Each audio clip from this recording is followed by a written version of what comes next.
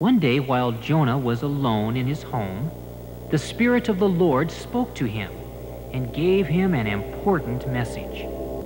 I am going to destroy you. So Jonah decided he would run away.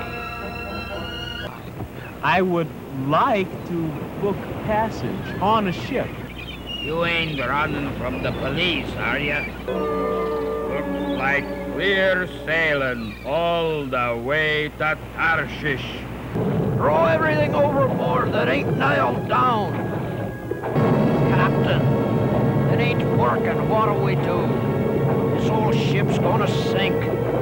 We better start praying, mate. Throw him overboard.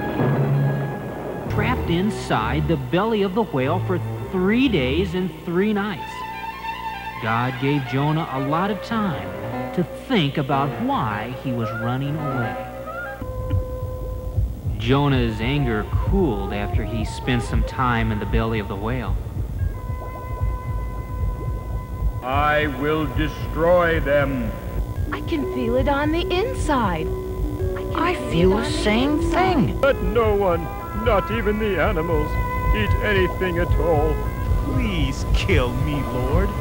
I'd rather be dead than alive. Death is better than this.